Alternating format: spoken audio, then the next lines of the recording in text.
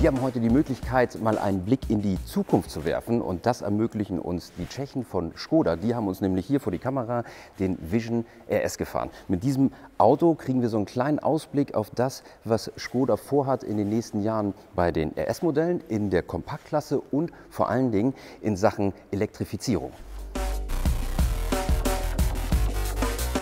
Es wurde versucht, die RS-DNA noch zu schärfen und, wie der Name es schon sagt, visionär zu interpretieren für die Zukunft. Das geht alles hier los in der Front. Man sieht zum Beispiel das Skoda-Logo, das ist illuminiert und das besteht aus Kristallglas. Das sehen wir hier vorne dann auch nochmal illuminiert in dem Frontgrill. Der besteht zu großen Teilen aus Carbon und auch hier wieder Kristallglas, das wunderbar illuminiert ist. Auch hier unten führt sich das dann fort mit den ganzen Carbon-Elementen, Lufteinlässe, Luftauslässe und auch da der Frontspoiler, der versucht dann nochmal so ein bisschen die Form des visionären Frontgrills aufzunehmen. Die Frontscheinwerfer, die sollen so ein bisschen anmuten, als ob sie fokussiert auf die Straße sind. Muss man schon ein bisschen genauer hingucken, um das zu sehen. Aber dann wiederum in der Kombination mit den ganz flach gezeichneten Tagverlichtern und den Nebelscheinwerfern funktioniert das eigentlich sehr, sehr, sehr gut. Und dann, wenn man genau hinguckt, man sieht eins, zwei, drei, vier Glasbausteinelemente in den Frontscheinwerfern. Riskieren wir einen kleinen Blick auf die Seite. Da sehen wir, wie dynamisch das Auto gezeichnet ist. Vor allen Dingen hier an den kräftigen Kotflügeln. Wenn wir dann die Seitenlinie mal längs gehen, dann sehen wir, dass er sehr, sehr flach wirkt. Das liegt auch an den kleinen Fenstern. Die lassen das ganze Auto noch mal flacher und dynamischer wirken. Auch hier die Türgriffe, die sind jetzt gerade versenkt. Das sorgt so ein bisschen dafür, dass man halt diese fließenden Formen beibehält. Und als kleines Gimmick, hier vorne, guck mal, ist eine kleine tschechische Flagge eingebaut. Die Seitenspiegel natürlich wirklich top aerodynamisch optimiert und wenn man guckt, Carbon und vor allen Dingen wieder Kristallglas hier in den Blinkelementen. Wenn man dann mal einen Tick runter geht, dann sieht man hier 20 Zoll Leichtmetallfelgen, auch wieder komplett mit Carbon verarbeitet und hier, wenn man ganz genau hinguckt, auch wieder Kristallglas. Das alles natürlich Leichtbau und Luftwiderstandsoptimiert. So, kommen wir mal zum Heck. Da fällt natürlich viel an Lichtgrafik auf, aber was mir als erstes aufgefallen ist, ist das hier. Ein herrlicher Diffusor und, Achtung, hier keine Endrohre. Ne? Einfach mal clean der Diffusor. Ne? Gefällt mir sehr viel besser, als wenn du hier diese dicken, gefakten Endrohre hast. Und wenn du dann drunter guckst, hast du dann nur so einen Strohhalm hängen. Ne?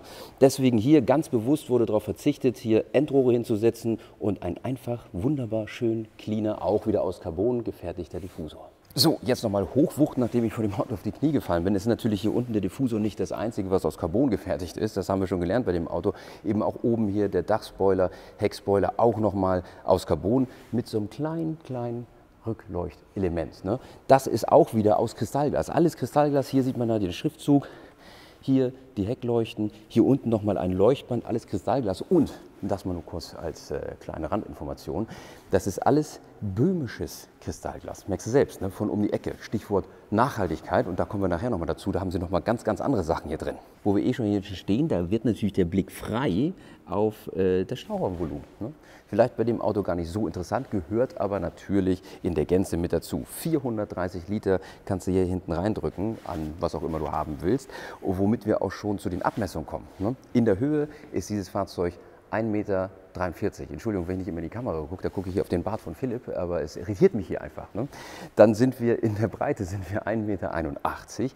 In der Länge sind wir rund 4,36 Meter und der Radstand, der ist 2,65 Meter. Radstand, wissen wir alle, immer sehr, sehr wichtig an Platzverhältnissen im Fahrzeug, auch hinten. Und deswegen springen wir nämlich jetzt auch in dieses Fahrzeug hinein. So, da haben wir gerade vorhin noch mal darüber gesprochen, über diesen herrlichen eingefügten Türknauf, der so die fließenden Formen quasi ergänzt. Jetzt wollen wir mal aufmachen. Achtung. Wird wahrscheinlich dann in der Serie etwas schneller gehen. So, hier innen natürlich extrem wichtig, denn das wird die neue Designsprache, beziehungsweise ist richtungsweisend für die neue Designsprache. Wenn ich mir das so auf den ersten Blick angucke, dann hoffe ich, es kommt genauso in alle zukünftigen Autos rein, gefällt mir richtig gut. Der Autoenthusiast, ne, der enthusiastische, der wird sich vielleicht so ein bisschen erinnert fühlen an die Vision X-Studie, die man auf dem Genfer Autosalon gesehen hat. Darauf basiert dieses Design so ein bisschen.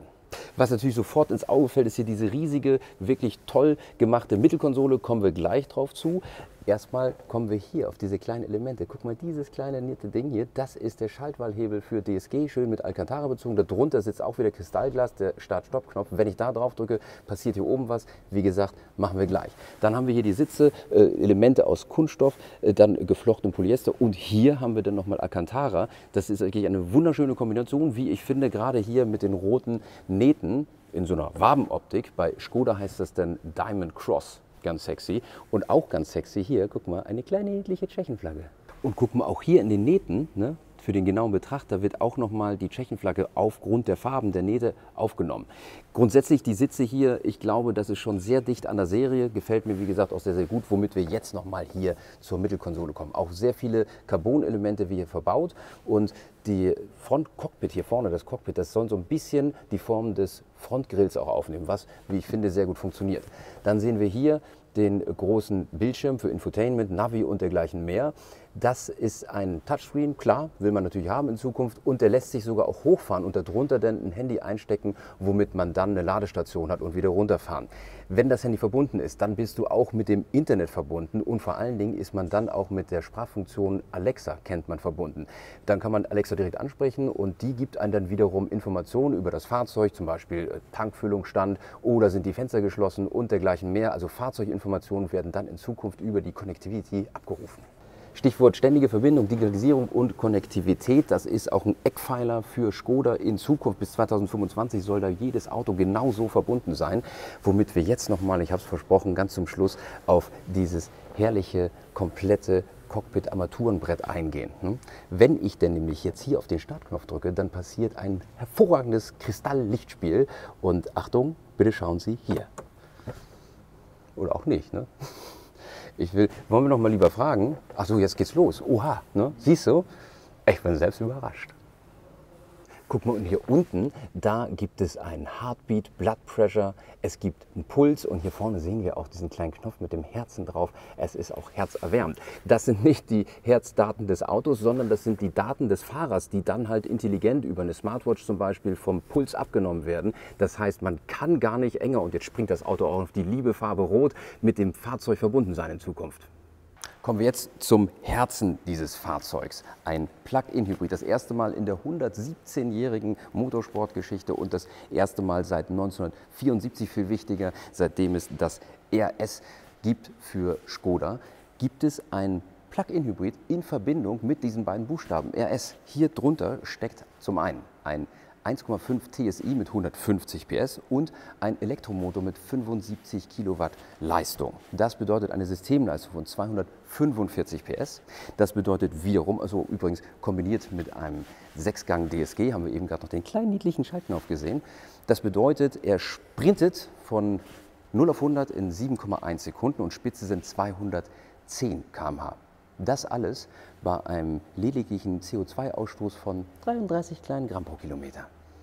Kommen wir nochmal darauf, was dieses Kraftfahrzeug rein elektrisch kann. Hier haben wir einen Lithium-Ionen-Akku drin mit einer Gesamtleistung oder Kapazität von 13 Kilowattstunden. Aufgeladen ist der Bruder hier in gerade mal 2,5 Stunden und das an der Haussteckdose, lädt aber auch automatisch beim Fahren über das Stichwort Rekuperation, äh, Rekuperation so ist ja richtig ausgesprochen, wieder auf. Hm?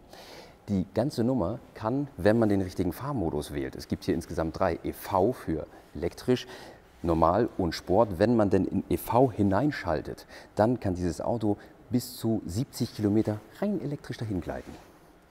So, und die rein elektrische Fahrweise, die ist natürlich was sehr, sehr nachhaltig in puncto Umwelt. Und das ganze Auto ist sehr, sehr nachhaltig, denn es ist exakt komplett animal-free. Ein schönes Beispiel will ich euch jetzt mal zeigen.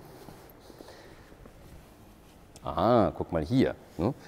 Normalerweise sagst du, hm, lecker Gummi, aber nein, ah, ich kann es richtig riechen. Dieses komplette kleine Fußmädchen ist aus, Achtung, Ananasabfällen gemacht. Du musst erst mal drauf kommen. Ich als sag ich mal, Asiate mit philippinischem Hintergrund, weiß natürlich, wie gut Ananasfaser sind, denn unsere Nationaltracht ist so daraus gemacht. Nur mal kurz so am Rande. Also das ist wirklich richtig gut gemacht. Animal Free, komplett ein veganes Auto bedeutet für mich als Fleischliebhaber, ich muss gar kein schlechtes Gewissen haben, wenn ich einen Steg extra mal pro Woche esse. Ne?